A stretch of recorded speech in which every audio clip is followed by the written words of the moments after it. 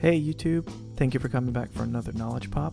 Today we'll be discussing how to print from your Raspberry Pi. I know a lot of us are working from home these days.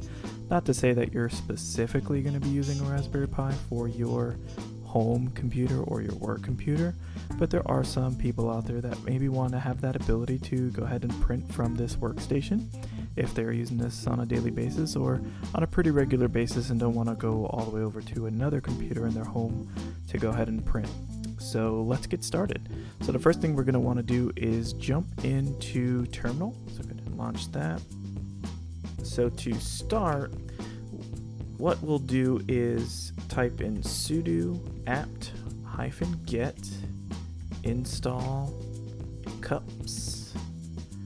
Click enter.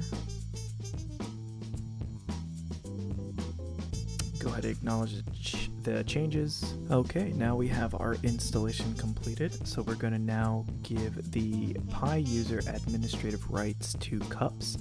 In order to do so, just type in sudo usermod hyphen a hyphen capital G lp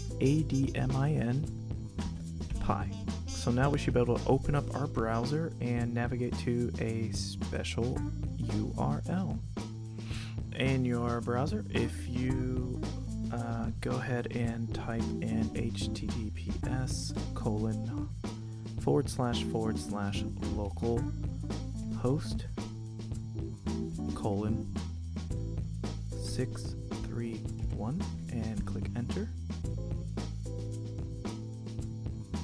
you'll be prompted with this. Your connection is not private. Go ahead and click advanced um, and then proceed to localhost. Now we're going to click on the administration tab.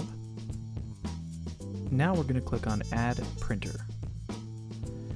Type in your username and password and sign in. My printer is very easily uh, this Epson WF obviously in your uh, network. If you have a network connected printer, you're going to select it. And I'm going to select the driverless one. I'm going to click continue. I'll leave the name and description as it is. I'm fine with all of that. Go ahead and click continue. After you verified all of these details, go ahead and click add printer. And I'm using the IPP everywhere, which is the internet printing protocol, and add printer. All right, now we have our printer added to our system. Now let's test our printer. So I'll open up LibreOffice. Once LibreOffice is open,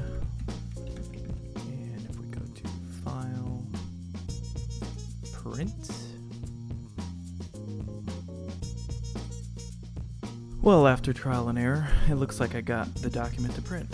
Apparently, uh, there was two printers added at the time of me adding my printer. One was uh, listed as raw, uh, and the other one listed as the IPP everywhere that I um, selected upon uh, setting this up. So be careful uh, to make sure that you're choosing the right printer once you do create it. I went ahead and deleted that printer to uh, correct my issue and it printed just fine. So that's it for today, everyone. Thank you for coming to my YouTube channel again, and I hope you have a good day.